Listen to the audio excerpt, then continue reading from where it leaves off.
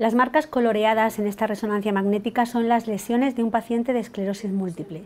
Esta enfermedad crónica afecta al sistema nervioso central, se manifiesta en diferentes formas de discapacidad y no tiene cura.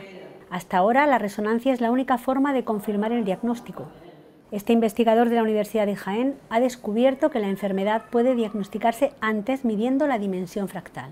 La dimensión fractal lo que permite ver la complejidad o la irregularidad de un, de un, objeto. Aplicada a una resonancia del cerebro permite avanzar el diagnóstico a partir de los síntomas y antes de que aparezcan lesiones.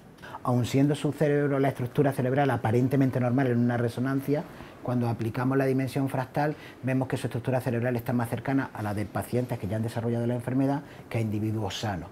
Esto permitirá... Si contamos una herramienta que, avance, que, ofrezca un diagnóstico muy temprano antes de que eh, empiece con los síntomas o los signos, bueno, pues nos ofrece muchas más, más, posibilidades de tratamiento, de intervención. Lo que quiere decir que cuanto más mm, frenes las lesiones y las secuelas que quedan, evidentemente la discapacidad será menor.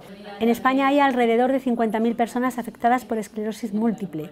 Para los enfermos, prever el alcance de esa discapacidad con este sistema reduce incertidumbres. El alivio de que se puede detectar antes. Mm, se conseguiría menos incapacidades. A mí me hubiese encantado que me lo dijesen, pero claro, a mí también me decían, va a estar en silla de ruedas en dos años. gracias a Dios me lo detectaron a los 18 y ya tengo 35.